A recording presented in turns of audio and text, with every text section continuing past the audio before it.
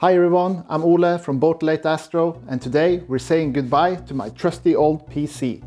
I'm very excited because I'm about to introduce you to my new epic PC build, crafted with cutting-edge components and designed for high-end performance. Join me as we embark on this exciting journey and witness the birth of a true gaming, editing and content creation powerhouse. Stay tuned as we dive into the assembly and benchmarking process. Let's get started right here on Boat Astro.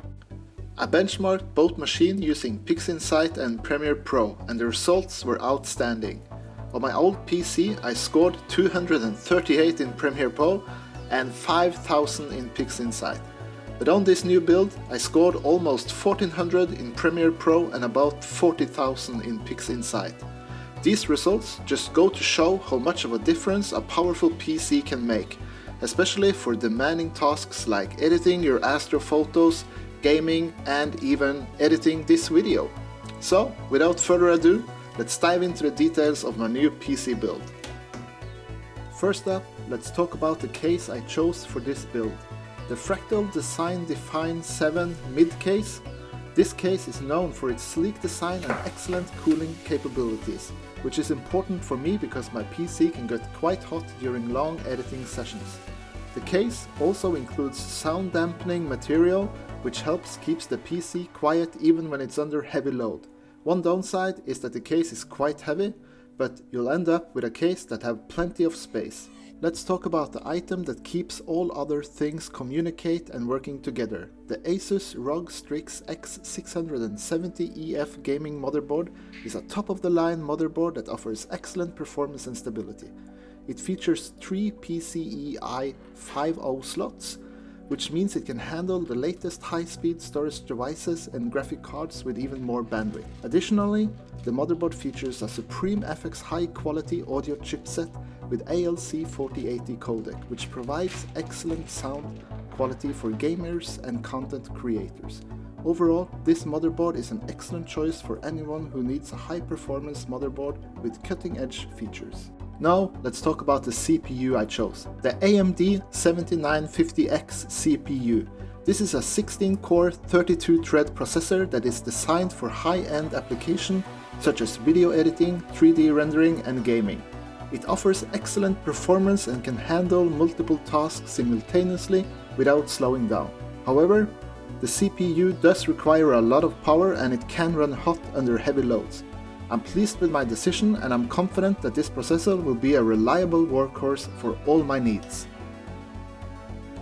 For storage, I chose the Kingston Renegade M2 2TB NVMe SSD disk. This is a high-speed storage device that offers lightning-fast read and write speeds. It's ideal for gaming and other applications that require fast storage access. I installed two of these bad boys in my computer one for gaming and Windows and in general, and the other one will be a pure editing drive. Keep in mind that while this is an excellent high-speed storage device, it does come with a premium price tag compared to other options on the market. Moving on to the RAM, I chose the Kingston Fury 5600 MHz 64GB RAM kit. This is a high-speed RAM kit that is designed for gaming and other memory-intensive applications. It features a low profile design, which means it will fit in most cases without an issue. This RAM is also overclockable, so you can squeeze even more performance out of it if you have the skills to do so. However, the RAM is quite expensive compared to other options out there. The Asus ROG Loki 1000 watt Platinum PSU. This PSU is a top-of-the-line model that offers excellent performance and stability. It's an 80 plus platinum certified, which means it's highly efficient and produces less heat than less efficient models. This is an ATX 3.0 ready PSU with all the right specs. I'm still actually waiting to see the fans start working, that's just how powerful this PSU is. Hey, if you're still watching, I got a challenge for you. In the comments below, share a tip you have for building a PC. It can be anything from cable management to cooling solution. And to get things started, here's my tip. Always make sure to double check your connections and cable management. So go ahead, drop a comment below and let's share some knowledge. And if you found this video helpful, be sure to hit that like button and subscribe for more. Alright, the CPU need a cooler. and I chose the ROG Strix LC2 360 liquid CPU cooler. This cooler is a top-of-the-line model that offers excellent cooling performance and low noise levels. It features a large 360mm radiator and three 120mm fans, which means it can handle even the most demanding CPUs. It's also fully customizable, which means you can adjust the RGB lighting to match your build. If you're looking for a top-of-the-line cooling performance, the ROG Strix LC2 360 is definitely worth considering.